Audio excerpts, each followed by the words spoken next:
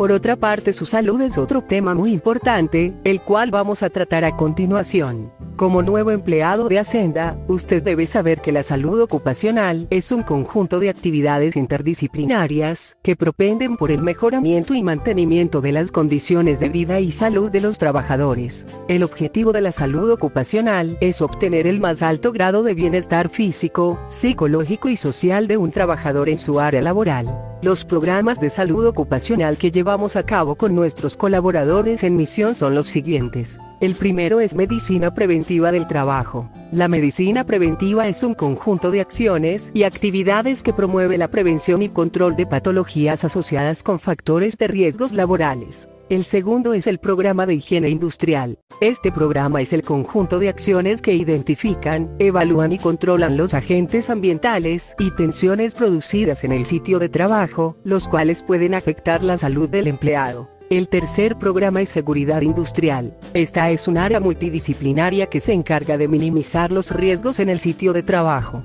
Y por último encontramos el copaso.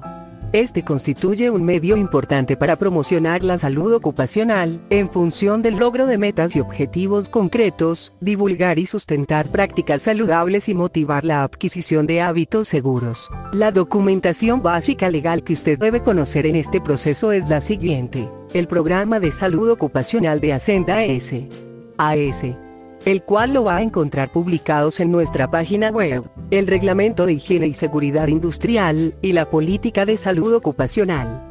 Estos dos últimos documentos serán dados a conocer por la persona encargada del proceso de contratación. Por otra parte, es de vital importancia que usted conozca que es un accidente de trabajo.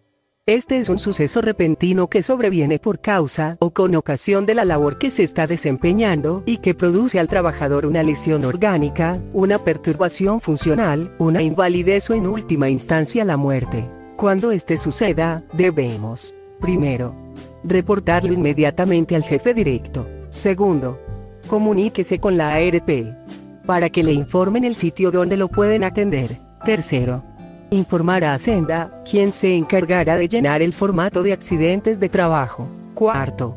Cuando lo hayan atendido y conozca del tratamiento a seguir, informe nuevamente a Hacienda. Quinto.